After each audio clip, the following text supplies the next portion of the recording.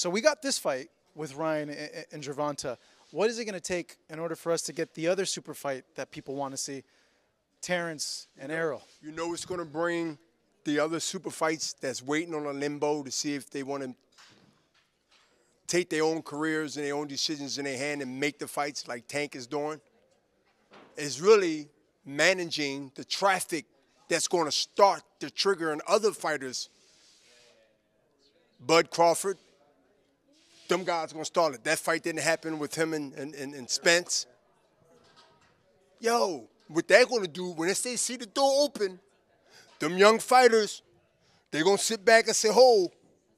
They're going to say, no, no, wait, they need us, they need us, they need us, don't go nowhere. That was good three or four, five years ago when they was getting 12 round money for four rounders. He can't, Al Haymon can't pay him that no more. That been stopped.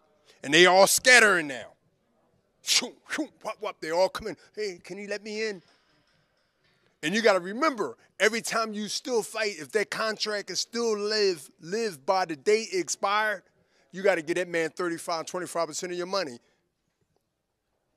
They starting to realize now, I got to give Al my money. Yes, he's not a promoter. He's an advisor. He got around the Muhammad Ali Act that I stood up for that made that law. Look at that. Look at the memoirs on every, Google it, and you'll see Bernard Hopkins talked at the Senate hearings. So now y'all got Duke because he's under the advisor, which the Ali Act doesn't cover. But now you over here with Arum, you over here with us, you over here with that, and they're like, oh, oh, everybody's working together. No, the well dried up. You got this big house.